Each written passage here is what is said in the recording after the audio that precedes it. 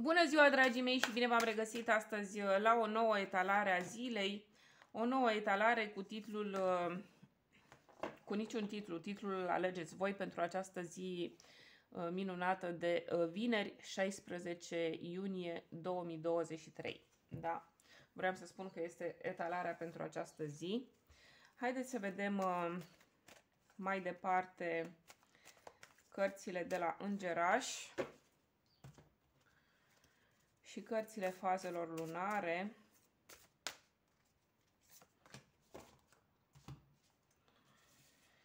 Și vom vedea imediat ce cărți uh, au ieșit de data aceasta pentru voi toți. Iată, dragii mei, că prima carte în etalare este aceasta cu numărul 22, așadar numerele 2, 4, 22 pot fi semnificative pentru tine în această zi de vineri. Această carte vorbește despre yin și yang, da? despre uh, masculin și feminin, despre uh, felul în care aceste părți ale existenței vin să se completeze în viețile noastre. Da? Uh,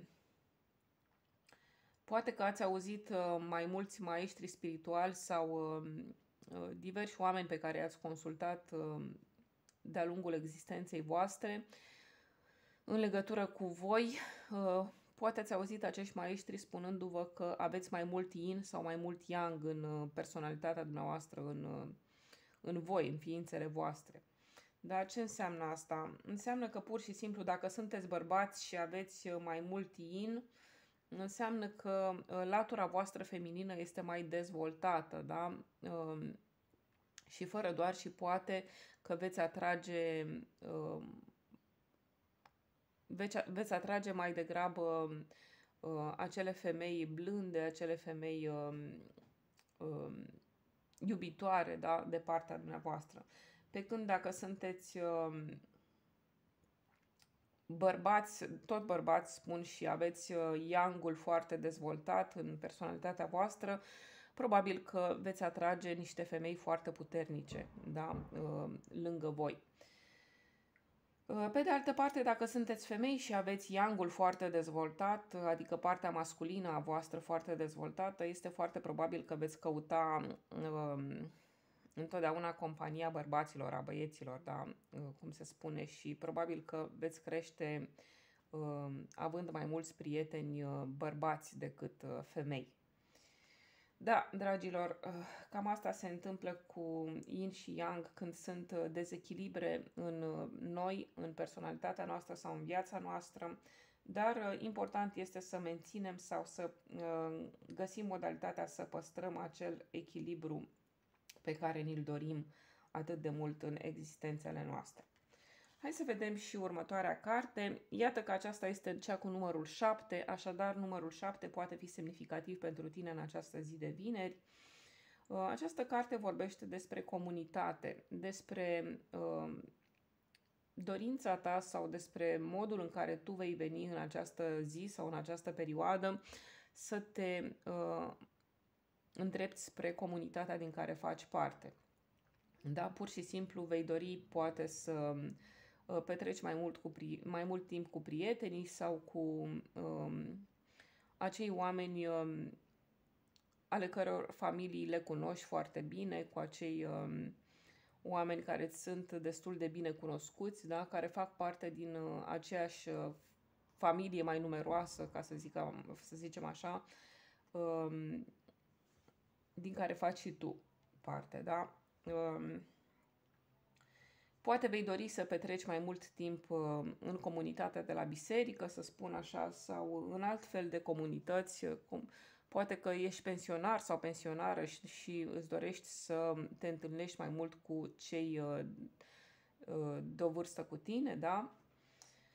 Pentru, pentru a celebra momentele, da? Pentru a petrece timpul tău liber și așa mai departe. Uh, sau poate că ești tânăr sau tânără și îți dorești să petreci timpul tău liber alături de prieteni dragi um, sau alături de iubitul tău sau iubita ta. Depinde, da? După caz. Uh, dar oricum văd că este vorba aici despre mulțime, despre a face baie de mulțime în acea comunitate din care tu faci parte și văd că acest lucru îți va face foarte mult bine pentru că pur și simplu vei căpăta mai mult uh, acel sentiment că faci și tu parte din ceva, da? Uh, acel sentiment al apartenenței îți va fi cultivat prin această petrecere a timpului tău în comunitate. Hai să vedem și următoarea carte. Iată că vine din partea îngerașului Akasha. Aceasta îți spune, ești un învățător spiritual. Ai capacitatea de a-i sfătui pe alții și de a ajuta să-și conștientizeze darurile spirituale și misiunea lor divină în această viață. Da, dragul meu sau draga mea, probabil că nu-ți vine să crezi, da? Uh, dar se pare că și tu ești, uh, iată, un învățător spiritual sau um, uh, ceea ce se numește un maestru, da? Um, poate că ai ajuns la o anumită vârstă, dragul meu sau draga mea, și atunci ai această capacitate de a-i sfătui pe ceilalți mai novice la, în cele ale vieții și nu numai că ai capacitatea să-i sfătuiești, dar um, ai capacitatea de a-i liniști și de a-i orienta uh, spre calea lor uh, de urmat în această viață, da? spre misiunea lor spirituală în această viață. Pentru că, de ce să nu spunem, uh, fiecare dintre noi uh, are o misiune sfântă în uh, această existență și este bine, este recomandat ca uh, fiecare dintre noi să-și descopere această misiune, pentru că dincolo de faptul că trăim pe acest pământ, da, uh, este bine să știm că avem și um, că suntem în legătură cu un plan divin, că acționăm în, în legătură cu un plan divin, în conformitate cu acel plan divin. Haideți să vedem uh, și următoarea carte. Iată, avem aici eclipsa lunii pline, uh, care aduce în prim plan faptul că finalitatea este foarte aproape în ceea ce te privește sau în ceea ce privește un lucru pe care tu îl aștepți um, să se îndeplinească în viața ta, da? Uh, poate că um, ai luptat din, din plin uh, în ultima perioadă să aduci în viața ta o, o activitate anume, da? Uh, sau o anumită oportunitate și iată că acum te apropii de final, de finalizarea acestei etape, de implantarea acestei activități în viața ta și pur și simplu văd că, deși te afli la început, la începutul acestei activități, pur și simplu îți vine să zbori de bucurie, da? Ești plin de încredere, plin de vitalitate și dorești să permanentizezi această stare de, um, de forță vitală în care te afli. Uh, da, poate că această carte are legătură și cu anumite lucruri pe care tu ți-ai dorit să le termini în foarte multă vreme și care, iată, acum se apropie de finalul lor. Da, poate acum reușești să duci uh, la sfârșit un, un proiect la locul de muncă sau cine știe ce alt proiect care are legătură cu viața ta în particular. Haideți să vedem, uh, dragii mei, și următoarea carte care vine din partea Lenormand. Da, um, iată că avem aici um, cartea cu numărul 19, așadar um, numerele 1, 9, 19 pot fi semnificative pentru tine în această și 10 pot fi semnificative pentru tine în această zi de vineri.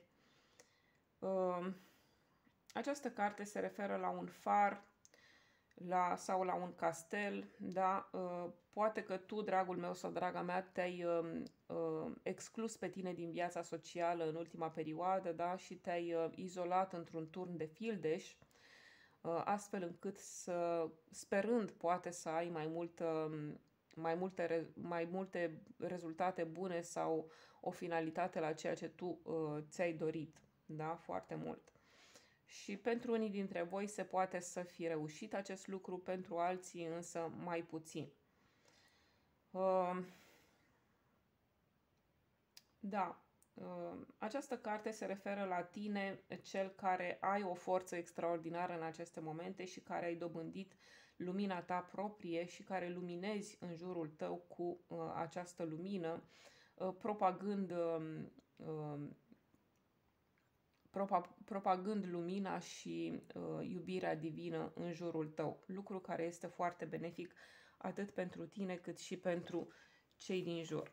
Haideți să vedem încă o carte, o carte care se referă la un mesaj, un mesaj, un gând pe care este bine să-l menții în, uh, în minte în această zi.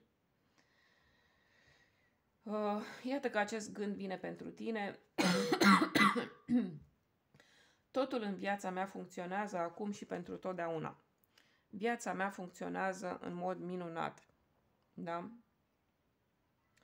Iată că este un gând cât se poate de pozitiv, cât se poate de luminos, care vine să-ți uh, aspecteze într-un mod pozitiv viața în aceste momente. Da? Este foarte bine când gândești acest lucru, da? că viața ta funcționează de minune, că nimic nu, nimic nu te poate împiedica să faci lucrurile la care tu te-ai gândit.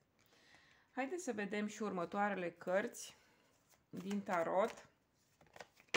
Iată că avem aici Asul de Pentacule, o carte deloc întâmplătoare care are uh, legătură cu acel nou început pe care tu îl dorești sau pe care l-ai dorit foarte mult timp în legătură cu viața ta. Se pare că uh, treci în aceste momente prin acest nou început, fie uh, în relația ta, da, poate că vei avea parte de un nou început în iubire, poate că acum este timpul să cunoști pe cineva nou și să te îndrepți împreună, alături de acesta sau de aceasta uh, spre o nouă uh, pagină a vieții tale pe care o veți uh, scrie cu plăcere. Pe de altă parte, este posibil să fie un nou început în carieră, da? poate că ești la un nou loc de muncă sau te îndrepți spre acest nou loc de muncă unde ai fost chemat de curând sau chemată și ești plin de entuziasm, da? plină de entuziasm spre a începe această nouă activitate. Haideți să vedem și următoarele cărți. Oricum, această carte, Asul de Pentacole, îți va aduce foarte multă stabilitate da? în perioada care urmează. Și următoarea carte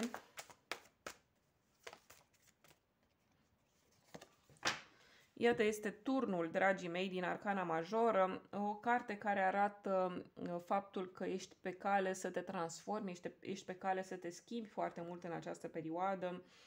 Uh, probabil și evenimentele din viața ta uh, nu-ți dau voie să rămâi pe loc, dar te obligă să te transformi în conformitate cu ele și unii dintre voi văd că este posibil să aveți anumite provocări fizice sau provocări de sănătate, care de asemenea vă obligă să priviți viața cu alți ochi. Poate ochi mult mai înțelepți. Da? Ehm, veți vedea realitatea exact așa cum este. Ehm, da, această carte va produce o epifanie în personalitatea ta, astfel încât ehm, vei reuși să vezi exact ceea ce trebuie să vezi în aceste momente. Da? În legătură cu viața ta, bineînțeles. Hai să vedem și următoarea carte. Următoarea carte din Oracol. Iată că acest mesaj vine către tine. Uh, trecutul este în urma ta, eliberează-l și îmbrățișează noi posibilități. O nouă cale este uh, la orizont pentru tine. Urmează-o cu încredere.